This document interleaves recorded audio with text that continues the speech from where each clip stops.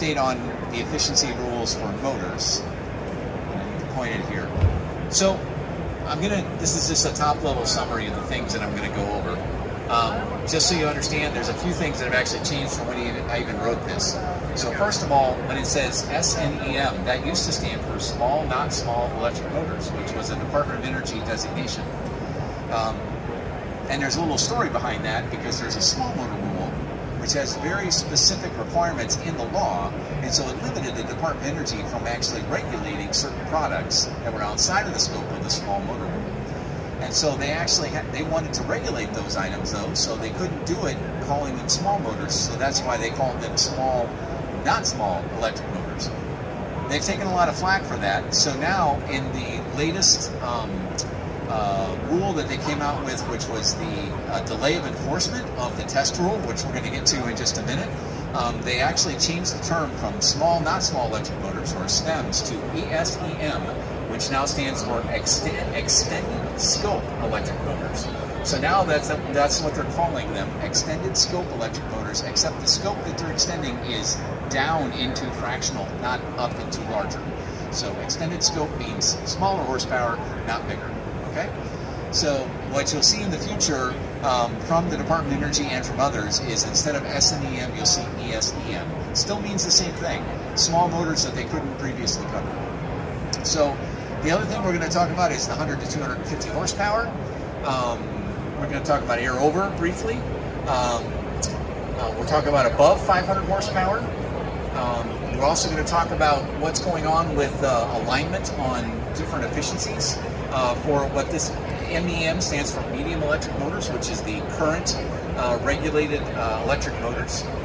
And uh, what's going on with synchronous and inverter only, and then also um, the fact that as we made recommendations here, um, we were making recommendations with a bunch of other industry organizations. It wasn't just um, uh, the motor manufacturers. It was motor manufacturers plus uh, people like uh, State of California, investor-owned utilities, uh, ASAP, NEEA, NRDC, and there's some other organizations. The state of New York also signed on too. So first of all, I'm going to talk about medium electric motors. These are motors that are already regulated by the department and uh, talk about what's actually happening in the new um, rule, the direct final rule that came out. Um, so uh, one thing I did not probably cover here well enough, because I probably, to uh, save space, I took this out. Um, the direct final rule actually um, became official on September 29th. It came out in June, um, and as of September 29th, uh, it basically is becoming unless the department comes out and says that it's not going to be, it is actually going to become what is the rule, okay? And so that direct final rule, we're talking about that right here. Um, and the first thing that it affects for new efficiency rules is 100 to 250 horsepower. Um, and again, just a, again a summary here, medium electric motors is 1 to 500 horsepower. So less than 100 horsepower isn't changing. It stays premium efficient for general purpose motors, not talking about air over at this point. Um, 100 to 250 horsepower is increasing to what we call within NEMA super premium motors, and and it's similar to the IE4 efficiencies. And I say it's similar because it's not exactly the same. Now let me point down here to the bottom right to this chart. And the reason why it's a little bit different, if you look at the enclosed values here, these enclosed values actually match up almost exactly the same as the IE4 efficiency values but the open open values do not. And so that's what's different. That's why it's it's um, you have to be careful to actually refer to them simply as IE4 because the super premium values and the values that the department use have a different enclosed and open value. IE4 does not. It has one value. And that one value is equivalent to the enclosed, not to the open. Okay? So there are new open values. The differential in efficiency as far as losses between premium and super premium are the same for open and enclosed. Um, so, so just so you understand, the current premium efficient open efficiencies are also a little bit lower than the enclosed. Okay, and the reason why that is in some cases is because these motors are actually for the open are on a smaller frame size. Okay, so they're on a smaller diameter, so hence we don't get to the same efficiency. Okay, so we're moving up in efficiency. Um, and that is going to be effective as of um, June of 2027. Okay, so June of 27. Also, um, again, over 250 to 500 horsepower also stays in premium efficient. Um, as I said, we created the new open proof efficiency value, so I covered that um, extensively already. The second thing that's happening here is that there's now um, air over motors are also covered for efficiency. Okay, um, not a big deal in the pumping industry, so I'm not going to spend a lot of time on this.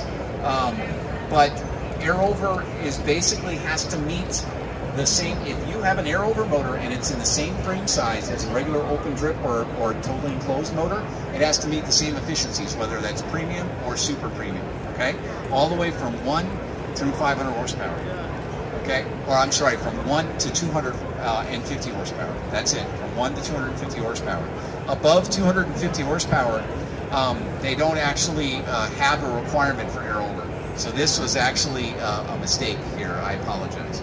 They don't actually, they have not regulated air over above 250 horsepower. Um, but there is this unique situation on air over motors on 20 horsepower and smaller and on 20 horsepower and smaller, they said is if you're in a special frame size, meaning a smaller frame size than normal, then we're actually going to have you use the efficiency that's the same as fire pump motors, which is effectively this table 1211, which kind of aligns to IE2 efficiency levels.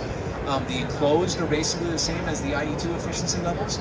So that's what's happened. For air over 20 horsepower and smaller, if you are on a smaller frame size, then basically you align with the fire pump motor efficiencies, which are effectively IE2. Okay? So this is that detail. And yeah, that's a lot of information. Um, I gave you the summary, but this is the detail. So here are the actual detailed values, okay? And it is saying that you have to be in a down frame um, frame, and so it even tells you what the standard frame is and then what your down frame would be from that, okay? So it's very specific. Again, in this market, in the pump market, it doesn't matter much, but in the in the air moving market, particularly with uh, commercial condenser fans, this is a very big deal. Okay. Also, from 501 to 750 horsepower, there is a new efficiency level that is uh, taking place, and you can see there's just four numbers here. There's only four numbers because the efficiency doesn't change. So at, these are already the efficiency values for a 500 horsepower. Um, and if you go to 550 or 600 or 650 or 700 or 750, it doesn't matter. The efficiency is the same, and these are the values. Okay, so that's uh, that's exactly what's happened. And uh, we've never had efficiencies uh, required over 500 horse, but these are them, and, and that's what applies. Okay.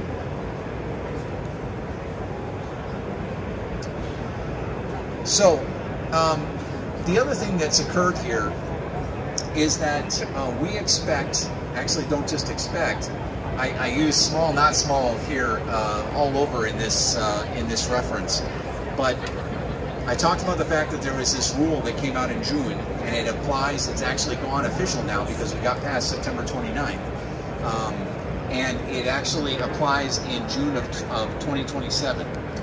There's also a rule currently in OIRA review people don't know what OIRA is, but it's a department of the Office of Management and Budget, the OMB. And that department has to review every new rule before it comes out from any part of the government, okay? And there is a rule which is called Extended Scope Electric Motors. That's exactly what it's called. And it is in OIRA review right now, and it's been there for about six weeks. We expect it is actually going to come out either in late November or early December to be issued. Okay. Um, we didn't know for sure what extended scope electric motors was until we got the delay of enforcement on the test rule, which came out last week. When that came out, they specifically referred to what was previously small, not small electric motors as extended scope electric motors. So now we know from the department that the direct final rule that's actually under review is for small motors. Okay? So we know that based on uh, putting, we were actually able to use the transitive property of Department of Energy naming and uh, came up with what this is. Okay? So what does this cover? It, it covers all 56 frame polyphase, so three phase 56 frame, and it also covers all these other single phase types of motors. And um, that motor coalition that included those people I talked about before, plus uh, NEMA, made recommendations to the Department of Energy for efficiencies for all of these different types of motors, um, from one through at least three horsepower. Okay, and so we we recommended that they not include air over for the extended scope electric motors, but we've been basically told by the department that they're going to regulate um, both air over and open and enclosed motors. Okay, so that's our expectation. Our expectation is then that this extended scope electric motors, previously called SNEMs, um, is going to come out with a direct final rule. Um, it's going to come out late November, early December, and it's going to have efficiencies for open and enclosed and air over motors for all of these different technologies through at least three horsepower.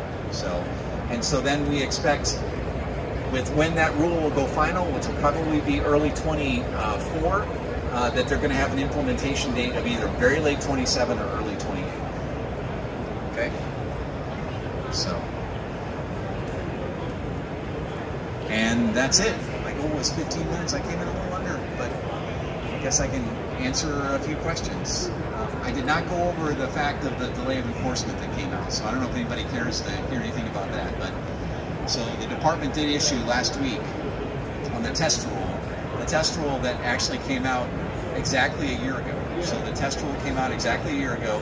So it was supposed to implement after six months. Everybody filed for um, extensions. So because the extensions were all granted, we effectively were going to have to meet it this October, and actually on the 17th. So in exactly two weeks from today. Um, but there were some things that were in there that we knew we could not get completed in a, in a year's time frame. So, for example, creating new um, calculation programs that got certified by UL or CSA or Advanced Energy. Um, we knew that wasn't going to be possible. Um, and so we, we requested a delay of enforcement, and I can't, I don't have a chart on it because I turned this in before that came out. Um, but basically, uh, what it says is that we have until um, October of 24 to be uh, to be ready for voluntary representations of efficiency on 500 to 750 horsepower. We have until October of 25 to be ready for all of our um, representations of efficiency on air over, and we have until 26 to be ready on inverter only and synchronous and all of the extended scope electric motors um, for voluntary representations of efficiency. So, which means we have to have basically AEDMs created, um, which are the computer programs, and have them certified into the department um, so that we can put those things on nameplates. Or we have to do a whole bunch of motor testing to be able to verify the efficiencies that we have on the motors that we put on the nameplates. So that came out last week. Yes. Uh, are these regulations like closing a large gap with like the other non-regulated motor types? In 2027, do you expect that to drop significantly? So can you ask that again? Yeah, so uh, other non-regulated motors, like outside of the efficiency classes that IEC and even put together, there's a big market for non-regulated frame types. Um, I, was just curious if like this is, if you think that market's going to start to close down.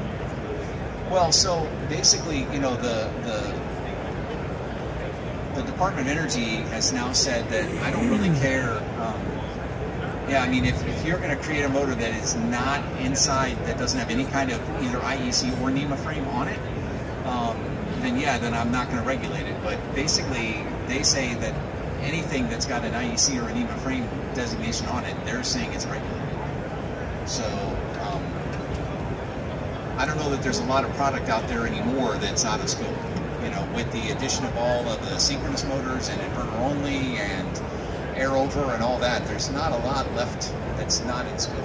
As a matter of fact, one of the big discussions we're having right now is what is the definition of a servo motor? And there are some people saying that effectively servos would be covered in some cases and in other cases not. And so actually there's part of the Motor Coalition, that group of other organizations in NEMA, one of the things we're meeting on is trying to create that definition of servos so that we can give it to the department to better define that so that we can truly exclude those things that are really motion only positioning type products and get those excluded because they shouldn't have an efficiency but make sure we're covering ones where somebody may be trying to call something a servo motor in reality just be trying to get around the efficiency rules. So yeah, that's actually something we're working on right now. If that's kind of what you meant. Yeah. Yeah. So yes, actually, last Friday I talked almost an entire hour on defining servo motors. So, um, so, and there were folks actually, there were representatives of the department on that call. So, um, primarily from like Lawrence Berkeley Labs and Guidehouse. So, so technical folks. Trying to write definitions. You're welcome.